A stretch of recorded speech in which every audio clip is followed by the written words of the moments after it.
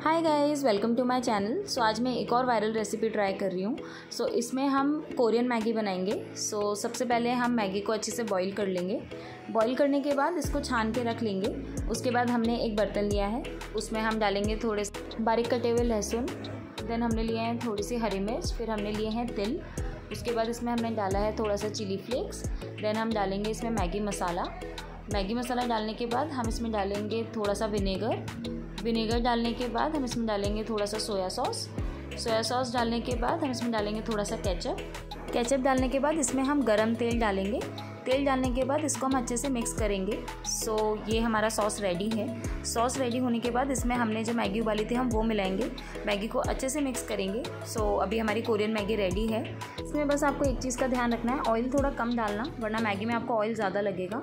सो so, अब हम इसको टेस्ट करेंगे। टेस्ट वाइज ये बहुत ज़्यादा अच्छी बनी है। सो so, आप भी इसको ट्राई कर सकते हैं। एंड मुझे बताइए कैसी लगी। That's it for today's video video अच्छा लगा हो तो please do like share and subscribe